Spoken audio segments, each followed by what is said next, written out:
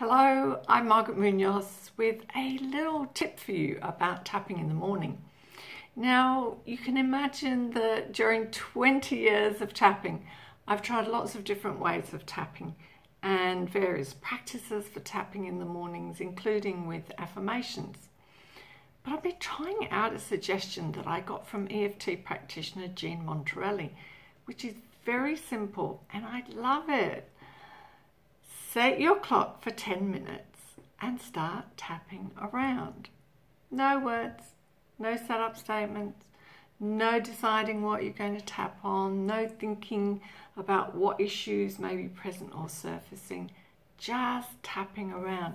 You can do the, the you can tap around the ordinary way I often do when I'm tapping myself. I do a wrist point, uh, you can do the finger point, the gamut point, use, use both hands, whatever you want to do. Then notice what happens. I usually start to, to yawn as the energy begins to shift. Thoughts arise, keep tapping, emotions arise, keep tapping.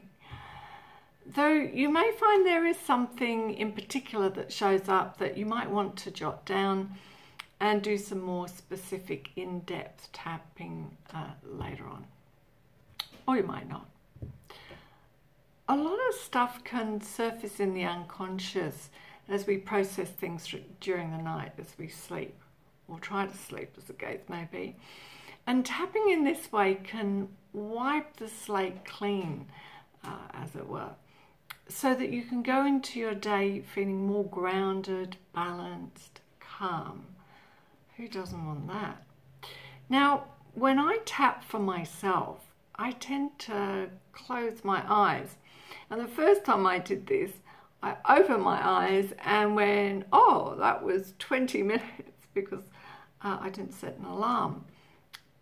Sometimes I open my eyes at eight minutes and feel that's done. So it's it's whatever suits.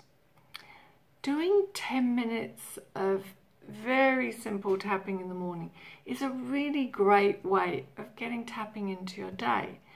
Um, I also meditate, so I do that after I tap, um, and that also makes it easier to, to meditate because I'm all, already in a sort of calmer state give it a try. Let me know how you go. Comment below, drop me a line. Uh, I always love to hear about people's experiences with tapping and I always read and respond. So I look forward to hearing from you soon. Bye.